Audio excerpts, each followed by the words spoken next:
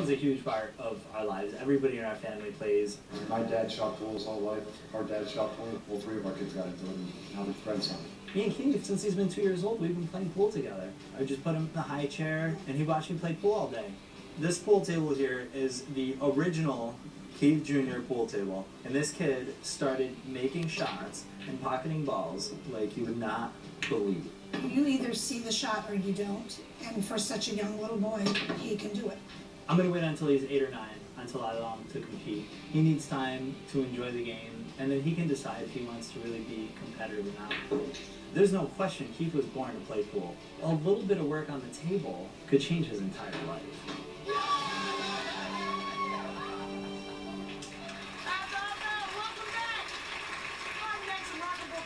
Recently crowned the top double yo-yo player in the nation. Please welcome Alex Hattori.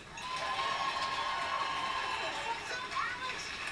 I'm so glad you came. I've been looking forward to this all day. Now, a lot of kids your age, they're playing video games all day. What made you want to do this? I like how creative I can be with the yo-yo because I can do almost anything I can imagine with these strings. Is that right? Yes. And you have some signature yo-yo moves. Yes, um, or signature yo-yos. So I helped design these two yo-yos. This one was the first one I designed called Oh, the wow. C-Force or centripetal force. And this is the newer one that I recently used to win Can, the. can I Yeah. touch that? I used this one to win the national champ or this model to this, to win the national championship. Wow. And this is called the Collider. I like it, the collider. Well, let's see what you can do with this. Okay. Y'all ready? Give him some encouragement.